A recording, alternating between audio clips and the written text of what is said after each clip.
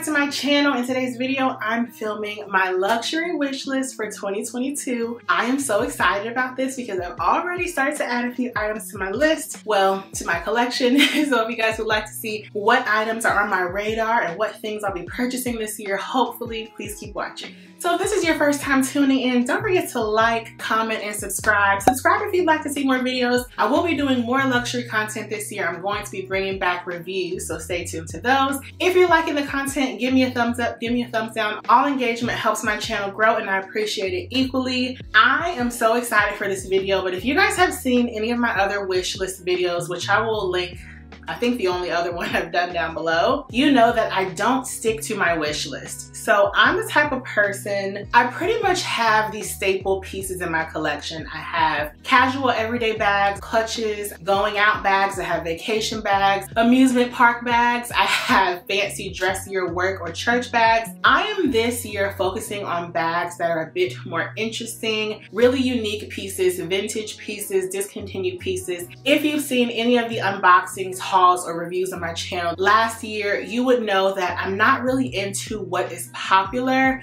I just feel like now I probably have over like now I'm at a place where I want really unique pieces. And so the two pieces that I've already added to my collection this year, well, one is unique, one is just a discontinued vintage style. So that is kind of how I make my wish list. Um, it's sometimes influenced by YouTube. It's definitely influenced by the other women or men in my life who have items that I like, but more often than not, they are interesting pieces. So let's get into the items on my wish list. I'm so excited to talk about these with you guys because there are only like a few people in my life that enjoy luxury like myself. So you guys are like mostly who I talk to. So I'm excited. Okay, so the first item on my wish list is a seasonal Chanel flap bag. I do have one other seasonal, two other seasonal Chanel flap bags. If you didn't know, I'm not really into the classic Chanel flap bag.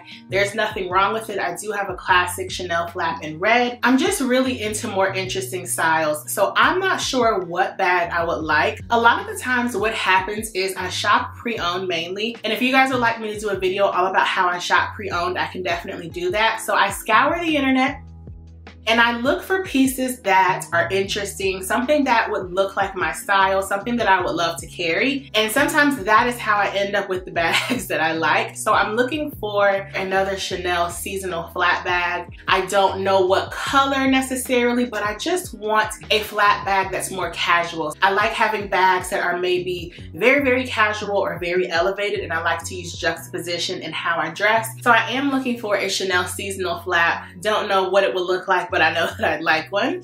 The next item on my wish list is a Chanel mini square patent leather in a fun color. I would love like yellow or orange or pink.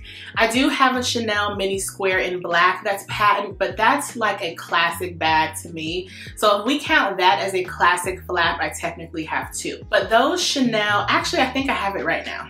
So here's the one that I have. This is the Chanel Mini Square in patent leather. This is a really fun bag and I love it. I just feel like they look like pieces of candy in the patent leather. So I would definitely like to get another one in a bright color. This is like a bag that I would wear any time of year, but I definitely want a bright colored one. The only problem is that these classic bags from Chanel are so expensive. I should also point out that my bag maximum this year is 2500 It was the same last year. If I'm buying with my own money, I'm not spending over 2500 I just feel like for that price range, I can pretty much get everything that I like.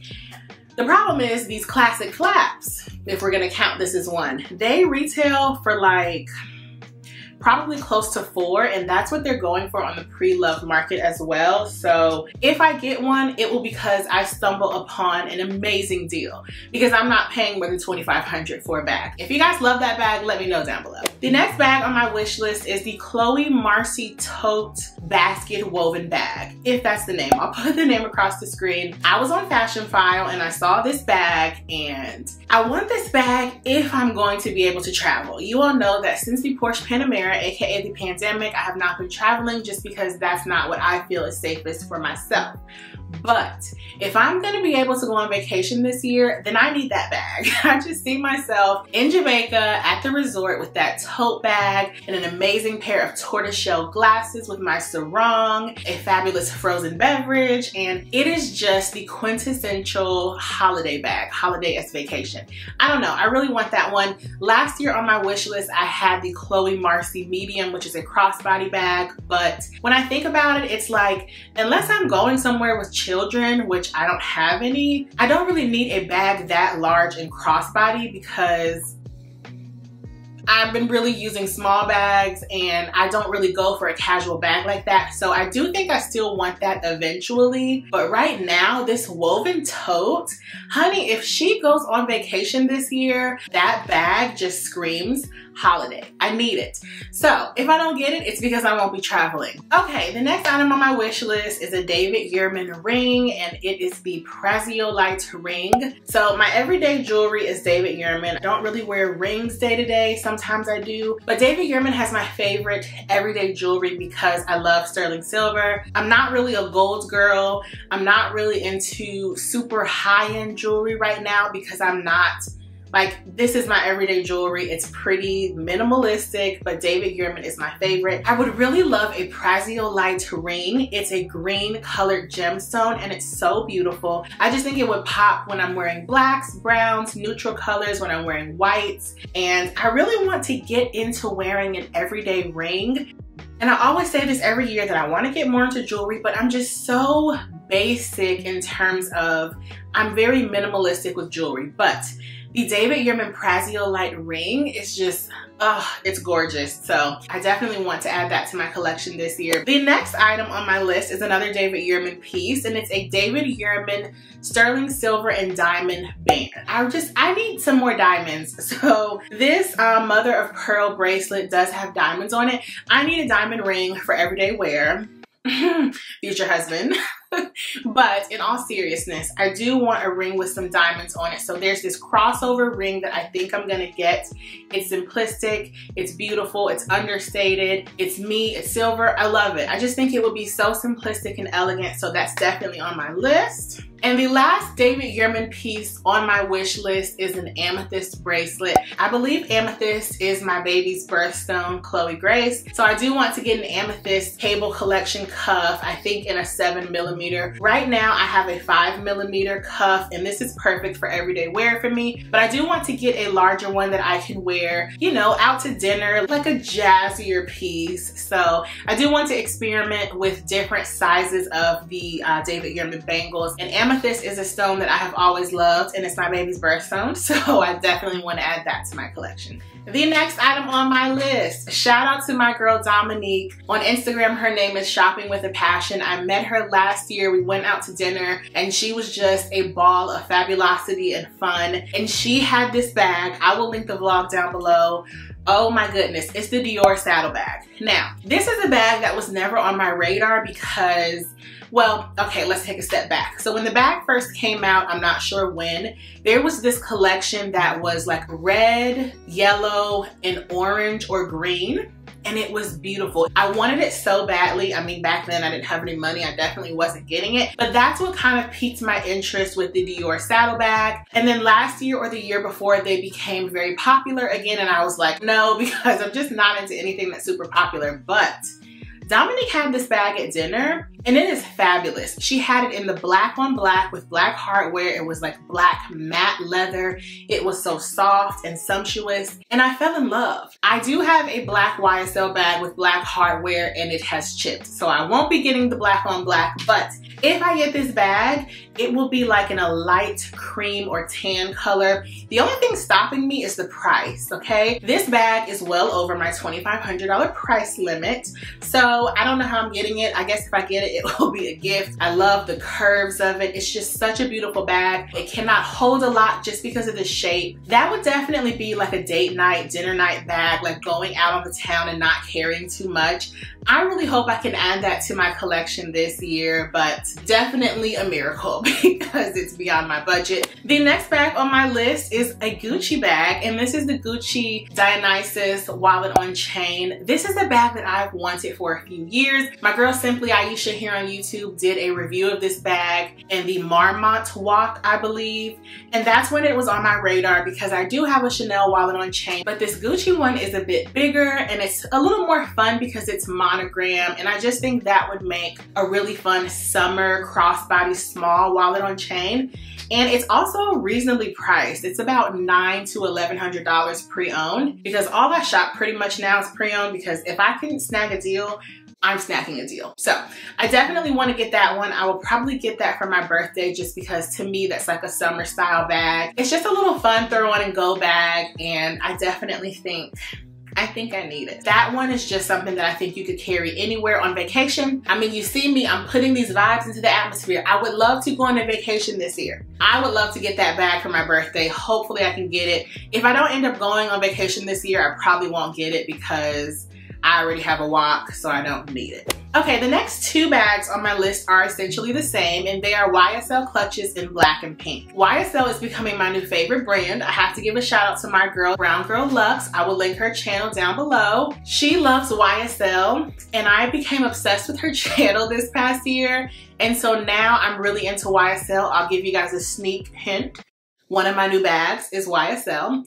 And I love YSL because they have some of the same styles that uh, higher end brands like Chanel or what have you carry, but they're a bit more understated. They're not as in your face. They're definitely less expensive and they still have classic silhouettes. So I think, I, I, don't know the name of it, but it's just a regular clutch with the YSL logo on the front. I believe that's the one I want. I used to really want the YSL um, Belle de Jour clutch. That one, it's still on my radar. I'm not sure, but I know I'll need, I know I need a black and a pink clutch. Next on my list is the Louis Vuitton Zippy Coin Purse. And this is a bag that I previously owned. I had a special edition one that was from maybe a few years ago and I ended up selling it. It was a Japanese collaboration. It has a silk screening on it and it started chipping. I have learned my lesson. The only pieces I'm ever going to buy that have a silk screen are like the Mon Monogram collection, which I do have a wallet, and those are the pieces that you can get uh, your initials on. But anything else, I'm not getting it because it starts chipping, so I sold that one, but I want the style back in my collection because it just looks like such a functional piece. I really do love these zippy style wallets. They're not super like fashionable and like beautiful, but they're very, very functional and I like that. There's also another wallet or card case that I would like. Once again, it's from YSL. I'm not sure of the name, but I'll pop it across the screen. It's basically a card case on the back, but all the slots are vertical. Then you have a zip top. I really want that because I've pretty much been carrying a card case for like two years now mainly. I mean, I do carry my larger wallet sometimes just because I'm oftentimes carrying a bag this small. I'm using my card cases. That's a larger card case that has a zippered pocket so I wouldn't have to stuff 10 cards and everything in it. So I definitely have that on my radar. It's just like back ordered everywhere. So I don't know. I kind of want to get it for myself this month, but we'll see if I can find a cute color. But that's definitely on my wish list as well because I need a new card case. The next item on my wish list is the Louis Vuitton fragrance travel case. And this has been on a list that I have given to a certain someone every year for my birthday. And they always decide not to get it for me. So I think that people probably think that it's not necessary, but